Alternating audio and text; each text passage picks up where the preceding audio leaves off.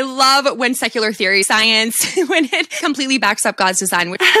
science. A few days ago, I was at a little play area with my son, and there were a bunch of older kids, and one of them was pretending to be a magical spider. Nothing could defeat this magical spider. So he's like going after the other kids. This one girl very cleverly was like, down came the rain and washed the spider out. He was like, shoot out my spider web, and it protects me. She was like, you can't do that. Well, I said I was magical and can't be defeated. And there was this other kid who was like, actually, I've seen water droplets on spider webs. They just fall right off. And he's right, because spider webs are hydrophobic. They repel water. The all-powerful spider does not recognize that. He goes, see, I told you I was all-powerful. Everything points back to God, to the all-powerful spider. Science might happen to go along with it, but it's not because science is science and that's how the world works. It's because God is all-powerful. The spider cannot be defeated. Completely backs up God's design, which happens again and again.